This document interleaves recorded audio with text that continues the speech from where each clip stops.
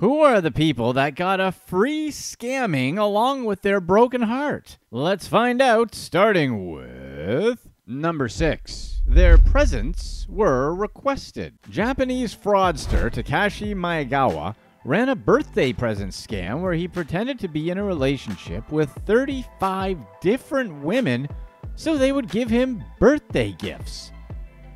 Miyagawa met these women while he was working as a salesperson for an undisclosed company.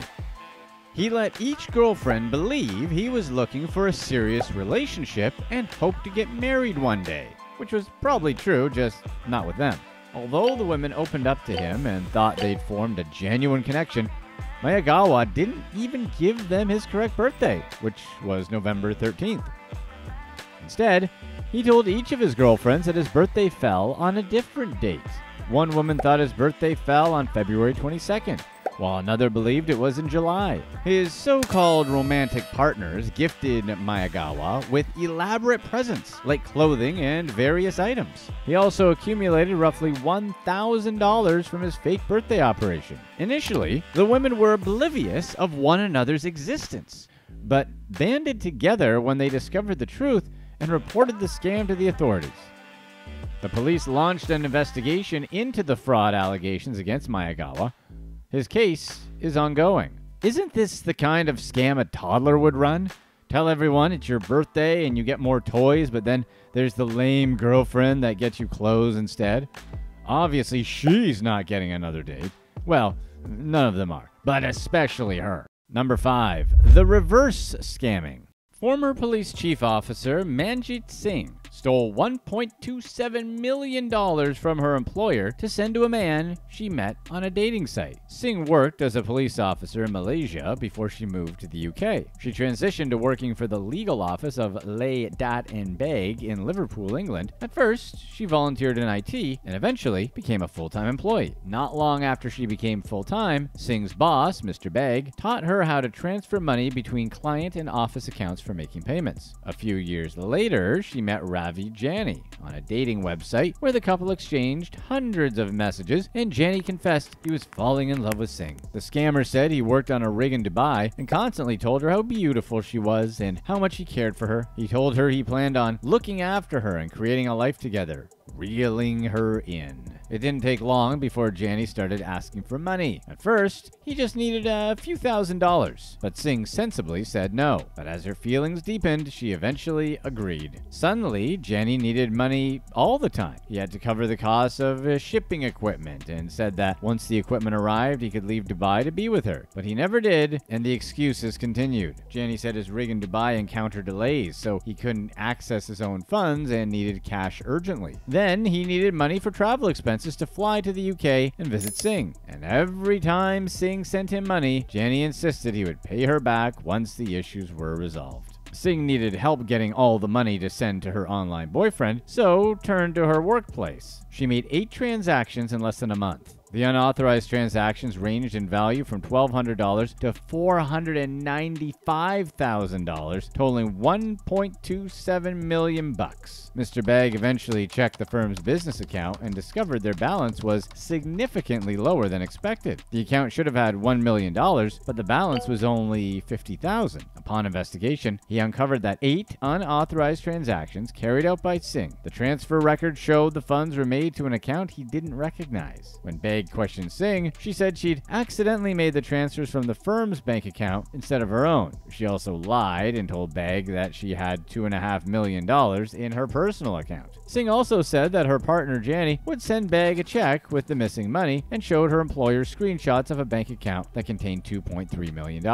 While she was with Baig, she called Jani and handed her boss the phone. Jani assured him that they would repay the funds that day. Baig decided to suspend his bank account out of caution, and when he didn't receive the money, he called the police. Authorities attempted to trace Jani's identity using a flower delivery Singh had received at her workplace from him. They linked the delivery to an IP address in Cape Town, South Africa, but couldn't find the customer associated with the order. Laydat and Begg's insurance company reimbursed the firm for the unauthorized transactions. Despite getting the money back, the firm faced higher charges as a result of the incident. Baig, betrayed by his trusted employee, suffered emotional distress and depression and had to use his personal personal assets to guarantee payments. Singh was ultimately arrested. During her trial, she testified that she was in love with Jani and trusted him to repay her. Her lawyer added that Singh met Jani during a difficult time in her life. Her ex husband left her while she had cancer and had a child with his new partner, and her father had passed away. Although Singh scammed her employer, the judge acknowledged that she was also scammed by the man posing as Jani. She received a two year prison sentence. And how did Mr. Baig believe Singh accidentally sent nearly a million dollars from the firm's account, mistaking it for her own account? He just accepted that she had that much money? It sounds like Mr. Baig was being a cool boss. Number 4. Such a classic Florida woman move. A Florida woman, Susan Rizzo, lost $25,000 to a con man she met on a dating site. We know when you heard Florida woman, you were thinking, all right, she probably did something crazy like biting an alligator or something. Everyone is insane in Florida. Unfortunately, she was scammed.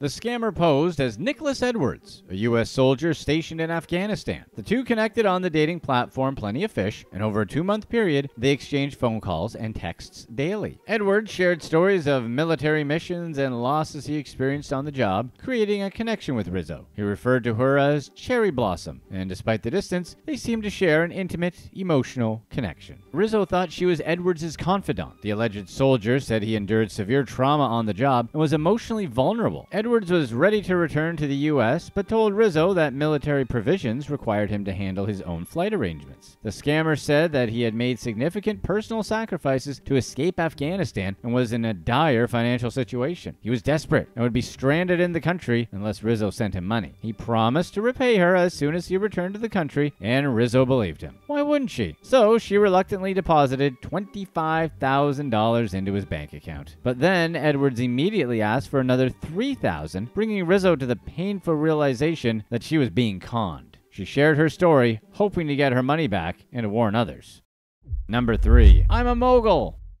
Caio da Silva posed as a successful music producer to con multiple women out of $338,000. The Brazilian scammer met his victims on dating platforms like Tinder to establish romantic relationships with women. He had multiple accounts under different names and said he was a successful producer and composer in Brazil's country music scene. Da Silva took the women on extravagant dinner dates to restaurants where he appeared to be well connected and always picked up the check. He introduced his victims to his family, including including his children, which convinced the women they were growing closer to the wealthy executive. Shortly into each relationship, Da Silva would say he was experiencing financial difficulties, like being locked out of his bank account or needing to cover emergency expenses. He then asked the women for money and promised to pay them back. Since he had created the illusion that he was wealthy, the women believed him and gave out the loans. As it turns out, Da Silva had a previous criminal conviction for embezzlement, which he committed before his romance scam. One of his victims was Talita Silva, a lawyer.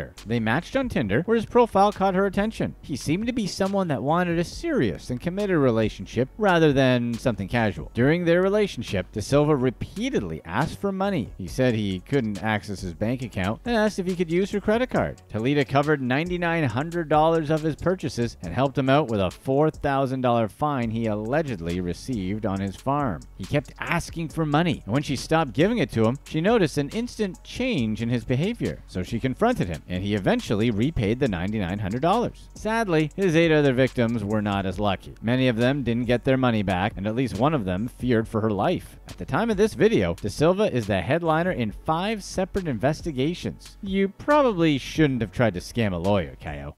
Number 2. Feeling Loved British mother, Sharon Bulmer, lost more than $100,000 to a catfish. A con artist who went by the name Murphy Townsend contacted Bulmer on Facebook. He said he was a 56 year old U.S. soldier stationed in Syria and that he had been watching her profile, which is a really creepy thing to say to someone, isn't it? After exchanging a few messages, Bulmer gave him her email and they moved to Google Hangouts. Bulmer believed Townsend had a 17 year old daughter and that he had recently lost his wife. He talked about his loneliness and said that he just wanted someone to talk to. Over a period of two and a half years, the 51 year old mother of two sent Townsend over $100,000. But Bulmer didn't realize that the catfish's photos were actually Latvia's Minister of Defense, Artis Pabriks. Despite the Latvian Defense Office's attempts at removing accounts with Pabrik's image, Townsend's Facebook account was one of hundreds of catfish profiles that used the Minister of Defense's photos. Sadly, Bulmer was so invested that she ended her 29 year long relationship with her partner to pursue a relationship with Townsend. Despite their connection, Townsend would grow agitated whenever Bulmer asked him questions about his life.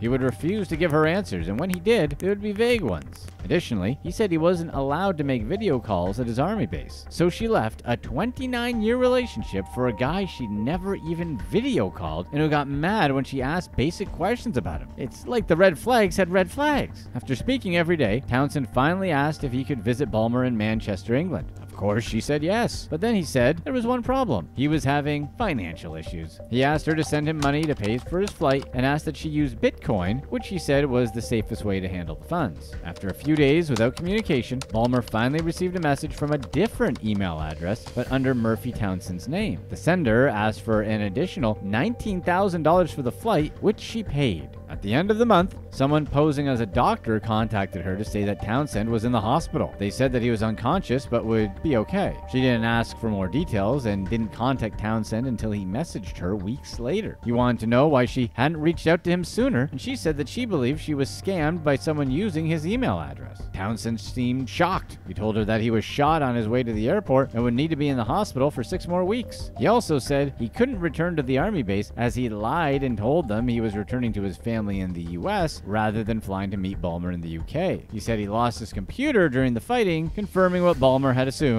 that someone had stolen his computer. Townsend said he needed $6,300 for his medical bills, which Bulmer paid. Once he had the money, he announced that he would leave the army for good and move to Manchester with her. But before the move, he would have to return to the US to sort a few things out and prepare to bring his daughter to the UK. He said he was dealing with administration fees, airlifting fees, and fines for ending his contract early and began asking Bulmer for money on a weekly basis. Although she hoped he was the man she fell in love with, Bulmer finally grew suspicious of him. When she asked him to send her pictures, he sent a screenshot of photos from the Facebook profile of Mike Douglas. So she asked him to send her pictures in his uniform. He sent over more pictures through the Mike Douglas account, and when she challenged him, he said they couldn't use Facebook when he was on a mission. The scammer also said that someone hacked his original Facebook, which is why the name on it changed. Finally, Bulmer wanted proof of his injuries from his hospital stay. He sent her a copy of a letter signed by a pediatric orthopedic surgeon. The dates also didn't correspond with when he told her he was in the hospital. Bulmer eventually contacted the U.S. Army to ask if anyone named Murphy Townsend was serving. They confirmed that nobody under that name was serving in the Army Reserve or as a general officer. She also learned that the 37th Infantry Brigade combat team he said to be a part of was from the Ohio National Guard, not the Army Reserve. Bulmer eventually confronted the scammer, armed with new information, to which he responded, Are you dumb? And that was the end of that.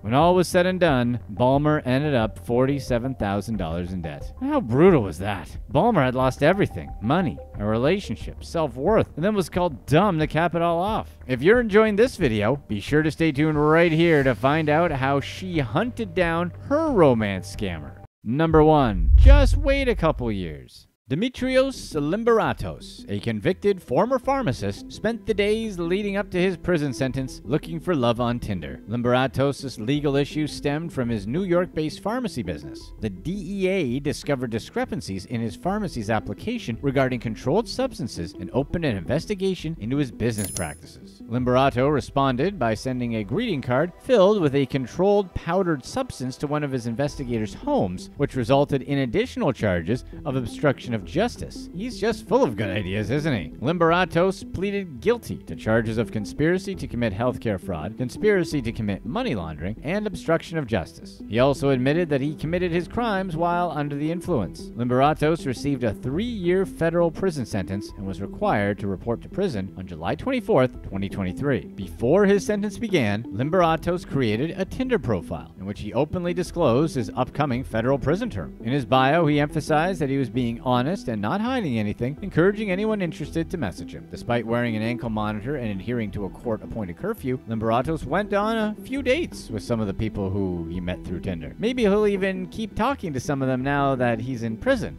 After all, since he's honest about his situation, he would be a much better person to date than a real romance scammer. You never do anything spontaneous. Those were the words spoken to the then 36 year old Acacia Wiedenot by her friend before she went on a date with Wilson Jackson, the man who would consume the next few years of her life for all the wrong reasons. Wiedenot's life truly changed when she received a friend request and a follow up Facebook message from Jackson. On the surface, Jackson seemed like a genuine guy he wore nice clothes in his pictures, and they even shared four mutual friends. His expression on the photos oozed charm, intelligence, and confidence. Jackson's message was, What's up, beautiful? Confirm these impressions. What's up, beautiful wasn't an uncommon first message for Wiedenot to find in her DMs. It's a message that she's used to getting. Nevertheless, Jackson stuck out like a well dressed, confident thumb. To his What's up, beautiful, Wiedenot responded with a suspicious hello. But it was enough to get a response from Jackson. He continued the Facebook message convo with Wiedenot for several weeks before asking her on a date. During those weeks, Wiedenot became close to Jackson. She found out he wasn't a catfish after they FaceTimed on a few occasions. They spoke on the phone, talking about their mutual love of sports, particularly football. Jackson asked her about the nine years she served in the Air Force, and Wiedenot answered, telling him all about her time abroad. Jackson listened to every word. In fact, Wiedenot got the impression that he cared about her, especially when he offered to fly Wiedenot from her home in Scottsdale, Arizona, out to his house in LA for Christmas. Wiedenot's original plans were to spend Christmas with her best friend, but the plans were canceled at the last minute. Now, left with no holiday plans, Wiedenot was still on the fence about accepting Jackson's offer. This was not something she'd normally do. Wiedenot's friend eventually convinced her to let Jackson buy her a ticket to LA and finally do something spontaneous. Wiedenot packed her things and left for the airport. Earlier, Jackson sent Wiedenot a screenshot of the boarding pass he'd bought for her. Everything seemed to be in order. Not to mention, Wiedenot had finally found someone she liked who could meet her expectations. However, when she got to the airport, employees said her ticket was invalid. Wiedenot, assuming something must have gone wrong during the purchasing process, called Jackson to get things sorted out. But when Jackson answered the phone, he didn't offer a solution. Instead, he insisted the ticket must be valid. Wiedenot explained that the flight would leave soon and she needed a ticket to LA pronto. So Jackson instructed Wiedenot to buy a ticket at the airport. He promised to pay her back when she got to LA, and to prove something was going on with the ticket he initially bought, Jackson sent Wiedenot screenshots of him dealing with the bank. Wiedenot says she proceeded to buy a ticket to LA and boarded the plane. Her plane landed at LAX in the late hours of the night. Jackson picked her up and took her to the movies. Wiedenot recalls how he was in person just as charming, fun, and kind as he seemed on FaceTime. Jackson asked her about Wiedenot's future, her career aspirations, and any wild, crazy dreams she harbored. In the morning, like a true gentleman,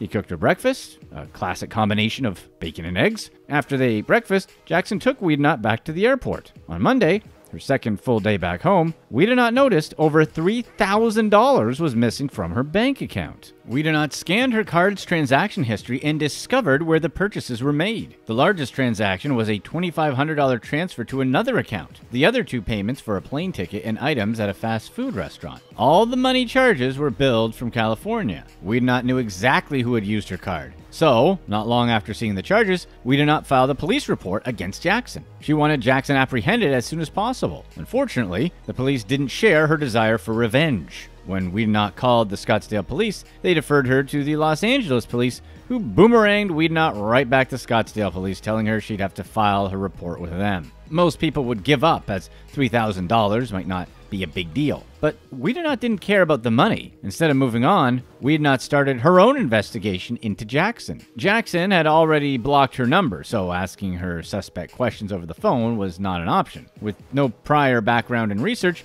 Wiedenot began investigating Jackson. She started with the basics. Where did Jackson live? Even though she'd been to his house, Wiedenot couldn't remember Jackson's address, and without his address, finding Jackson would be very difficult. She couldn't find any home addresses linked to the purchases on her bank statement, but she did find the address of the fast food restaurant. After finding the restaurant address, Wiedenot searched every apartment complex in the area and, with the help of her memory, found the apartment complex she stayed at with Jackson. She remembered Jackson taking her to a tall building, so tall that they had to park in an underground parking garage. So, Wiedenot narrowed her search to tall apartment buildings with underground garages. She also remembered being close to a movie theater on a noisy LA street. Using these very specific criteria, Wiedenot found a potential match. Just to be sure it was the building she stayed at, the rookie sleuth looked up the floor plans, then, based on her memory of walking through the rooms and hallways, determined this was the place. Wiedenot called the building's phone number and asked the clerk if a resident named Will Jackson lived there. The clerk said no, and Wiedenot felt a dreadful epiphany wash over her. Will Jackson was not his real name. Wiedenot kept digging. She used methods she initially learned from MTV's Catfish, such as reverse Google image searches on Jackson's Facebook page. Eventually, one of those reverse searches yielded a link to a social media account under a different name. The account had an email written in the bio. Wiedenot dug deeper into the email account and discovered it belonged to someone named Sincere Jackson. Wiedenot kept digging and Googled the name. The results were mostly unrelated, except for one article. The article was small, only 85 words, but it contained some vital info on Jackson. Oddly enough, the article's publisher was from Orlando, a local paper called the West Orlando News. In 2011, the Orlando News published an article on Jackson, saying that the police department were searching for victims willing to come forward and testify against Jackson. Alongside the victim's story was a mugshot of Jackson, who Wiedenot easily recognized. The real question was who are these victims? And what did Jackson do to them? Was it similar to what he did to her? Detective Wiedenot would soon find out. In 2007, a Florida woman who gave reporters the alias Shonda Porter dated Jackson. She described him as a snake who could shed his skin on command and become anyone he needed to be. But that isn't how Jackson saw himself. Porter dated Jackson long enough to notice a large tattoo on his back, written in bold, daring letters Outlaw. Wiedenot would later discover, after some more online sleuthing, that Jackson grew up as anything but an outlaw. According to public records, Jackson was born in Daytona Beach, Florida. Contrary to his tattoo, Jackson was raised in a conservative Christian household. Growing up, he did everything he could to escape his family's culture. As a young man, Jackson attempted to start a rap career under the name Da Truth. However, Da Truth eh, wasn't very good. Jackson spent his early years bouncing around Florida, mainly between Tallahassee and Orlando, all the while claiming to his many girlfriends he was playing football and writing bars. In reality, Jackson was learning how to scam people, specifically successful young women on social media and dating apps. These girls saw Jackson the same way Wiedenot had handsome, well dressed, tall, fit looking man with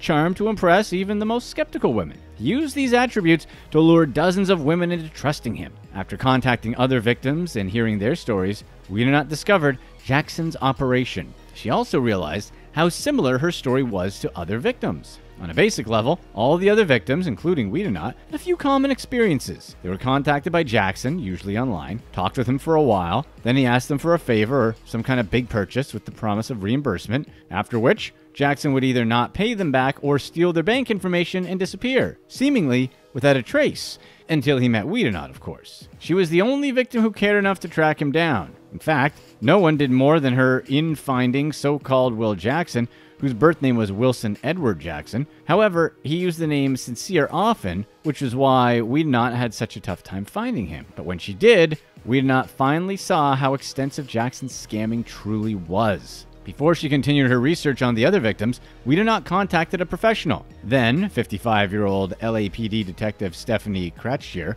By 2018, when Wiedenot reached out to her, Detective Kratchier had been investigating Jackson for a while, ever since the charming scam artist had moved to LA back in 2014. Wiedenot could not arrest Jackson herself, but Kratchier could. Scottsdale sleuth presented Kratchier with all the evidence she collected so far and convinced the LA detective that Jackson needed to be arrested immediately. Kratchier, however, had a lot on her plate. The city of Angels was filled with scamming demons, and small scale scams like Jackson's were not a number one priority. Nevertheless, the overworked and overwhelmed detective promised Wiedenot she would arrest Jackson as soon as possible. Wiedenot hung up the phone feeling confident that Kratchier would take care of the arrest. In the meantime, however, Wiedenot could not let the case go. So far, Kratchier only had eight victims who'd reported Jackson to the authorities. Wiedenot was determined to find more.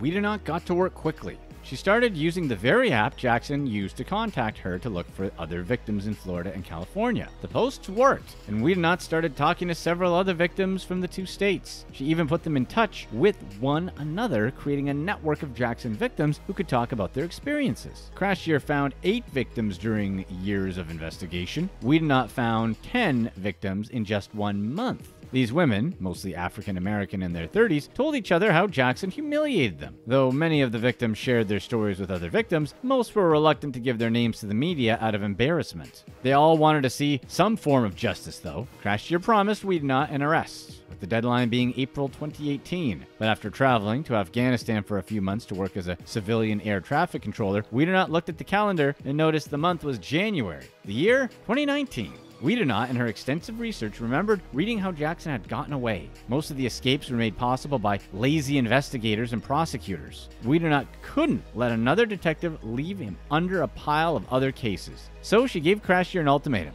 arrest Jackson, or Wiedenot would file a complaint on the veteran detective who was set to retire any day now. Kratchier chose the harder option and looked up Jackson on her computer. She found a warrant in his name for Grand Theft Auto and sent a team of officers to bring him in. Jackson was arrested on May 23, 2019 in Los Angeles. He was taken into police custody and hired a lawyer, but the lawyer left after Jackson's check bounced. His public defender convinced him to plead not guilty despite over 60 women coming forward to testify against him on 33 felony charges. In total, Jackson is believed to have collected over $200,000 from his victims, including Wiedenot. Sadly, they'll never get that money back.